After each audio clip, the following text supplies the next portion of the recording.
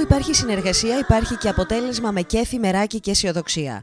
Το μήνυμα αυτό μέσα στο κλίμα των Χριστουγέννων πέρασαν οι μαθητές του 6ου Γυμνασίου Ηρακλείου και του Γυμνασίου Γαζίου, που συμμετείχαν σε μια εκδήλωση η οποία είχε πολύ μουσική αλλά και θέατρο. Τα σχολεία βγαίνουν έξω στην κοινωνία, μας αγκαλιάζουν, τους αγκαλιάζομαι και τα παιδιά έχουν τη χαρά να δώσουν και εμείς να πάρουμε. Να, έχω την υποψία ότι οι άνθρωποι και μας υπάρχουν.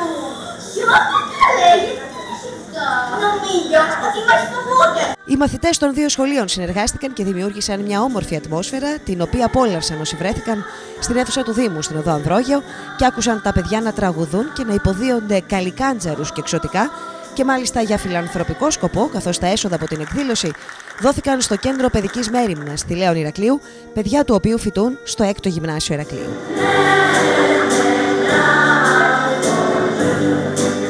Μια μουσικοθεατρική παράσταση, ε, γιορτινή. Αυτό βοηθάει ώστε τα σχολεία να βγουν έξω στην κοινωνία, να ε, υπάρξει ε, συνεργασία, να βγούμε, να, να διαλαλήσουμε αν θέλετε το πνεύμα αυτό της συνεργασίας και των γιορτών. Η βραδιά είχε χρώμα εορταστικό και ευχάριστη διάθεση, με παιδιά και γονείς, μαθητές και καθηγητές να συμμετέχουν σε ένα χριστουγεννιάτικο παραμύθι που έβγαλε γέλιο και συγκίνηση.